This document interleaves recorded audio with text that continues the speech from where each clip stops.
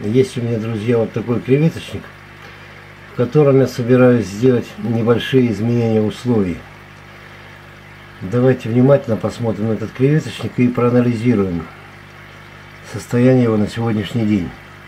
В нем есть небольшое количество блюдримов, но блюдримы здесь в основном взрослые и молоди совершенно не видно. Хотя креветочник очень хорошо зарос растениями и в нем отсутствуют рыбы. Есть место для того, чтобы выводились креветята – очень хорошие мхи. Но, тем не менее, креветки здесь почему-то не хотят плодиться.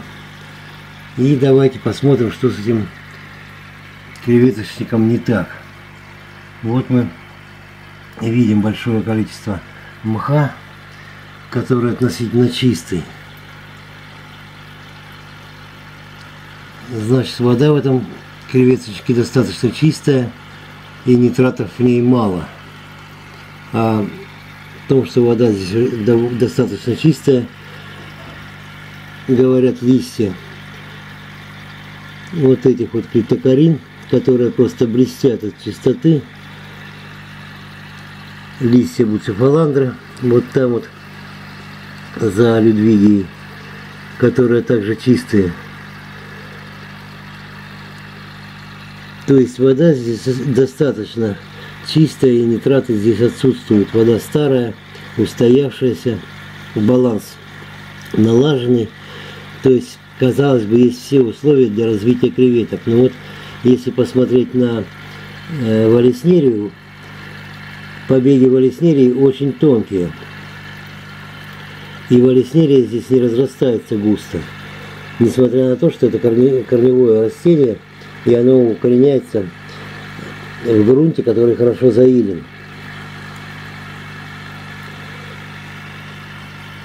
А вот Людвигия растет здесь очень пышно.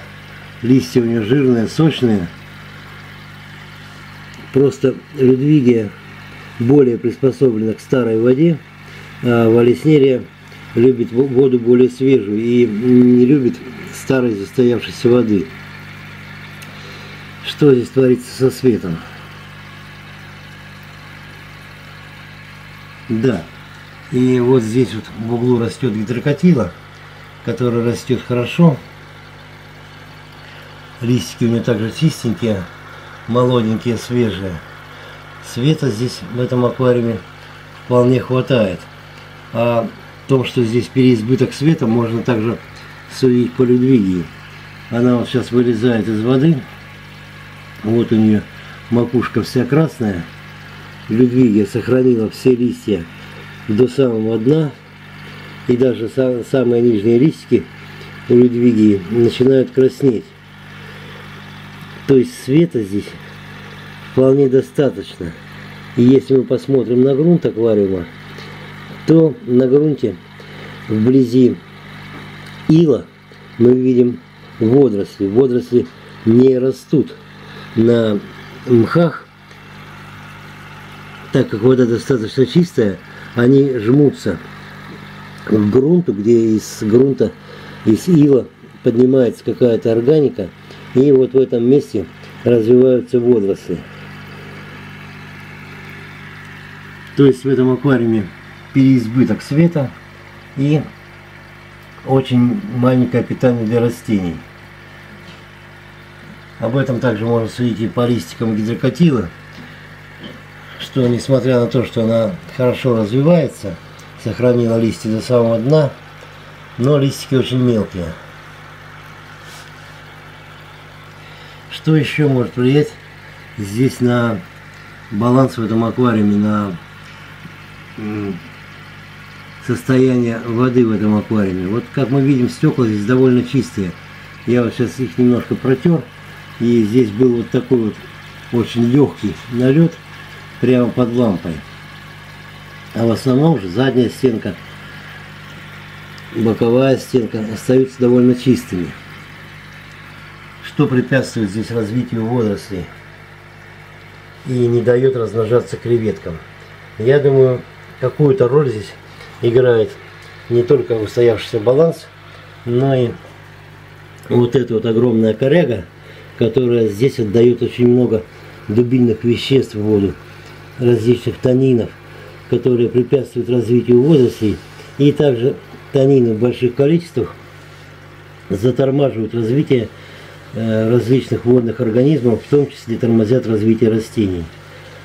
Возможно, я не, не вполне уверен, но возможно вот именно наличие вот этой большой коряги в креветочке, а также старая несменяемая вода не дает размножаться креветкам в этом аквариуме, не дает расти в полную силу валеснерии в этом аквариуме.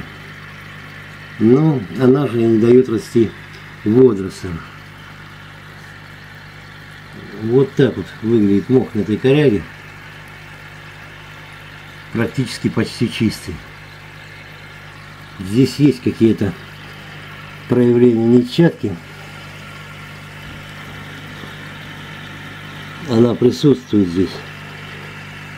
Но также из-за переизбытка света и отсутствия органики в воде она не развивается в огромные пучки и держится вблизи дна. Итак, мы имеем хорошо заросший травник с длинносебельными и медленными растениями. Э, длинносебельные такие, как гидрокотила, допустим, людвигия или валеснерия, и медленные растения криптокарины, буцефаландра. Криптокарина чувствует себя здесь несколько лучше, чем э, быстрорастущие растения. Но, к сожалению, вот не растет здесь криптокарина нури почему-то. То ли света ей не хватает, то ли еще какая-то причина. Возможно, и также нужна свежая вода. И еще мы имеем парочку очень интересных растений. Вот это вот эхинодорус, красный жемчуг, красная жемчужина. Он не растет большим. Максимальный его размер 15-20 сантиметров. Растет он очень медленно. И мне очень хочется этот редкий эхинодорус, красную жемчужину, посадить куда-то в этот аквариум. Эхинодорус как нельзя лучше подойдет для маленького аквариума, так как он не разрастается слишком сильно, расти будет медленно. Сейчас я уберу отсюда корягу, кое-что переделаю.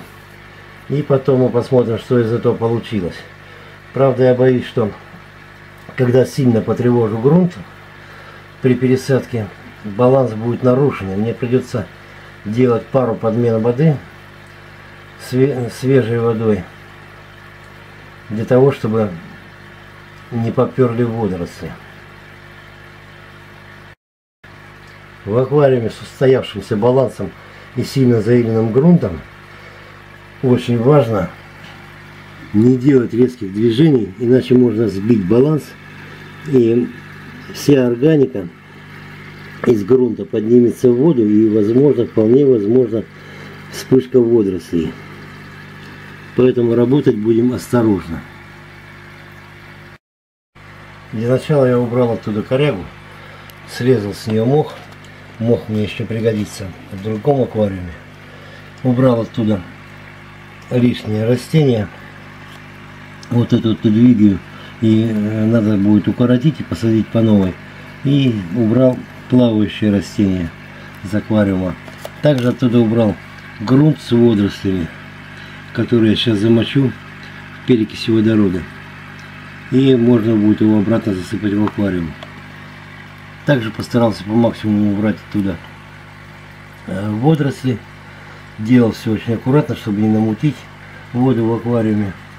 И сейчас можно будет просифонить грунт в том месте, где стояла коряга.